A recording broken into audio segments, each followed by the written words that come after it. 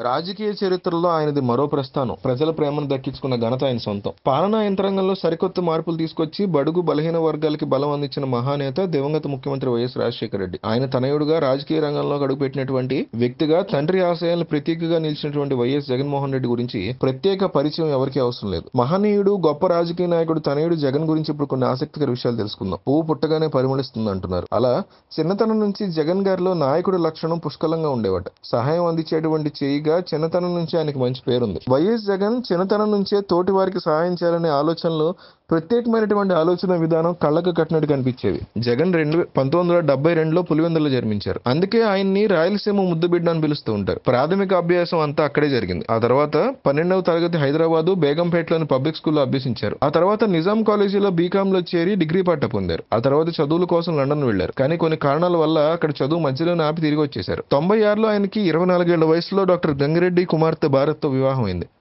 వీరికి ఇద్దరు కుమార్తెలు పెద్ద కూతురు వర్షారెడ్డి చిన్న కుమార్తె హర్షారెడ్డి కాగా పెద్ద కుమార్తె వర్ష లండన్ స్కూల్ ఆఫ్ ఎకనామిక్స్లో సీట్ సంపాదించి విద్యార్థులందరికీ ఆదర్శంగా నిలిచారు. అప్పట్లో విషయం సంచలనమైంది. రాజకీయాలకు రాకముందు వైఎస్ జగన్ బెంగళూరులోని లాంకో హిల్స్లో వర్క్ చేశారు. ఓవైపు బిజినెస్ పరంగా బిజీగా ఉంటూనే రెండు వేల తొమ్మిదిలో కడప ఎంపీగా పోటీ చేసి విజయాన్ని అందుకున్నారు.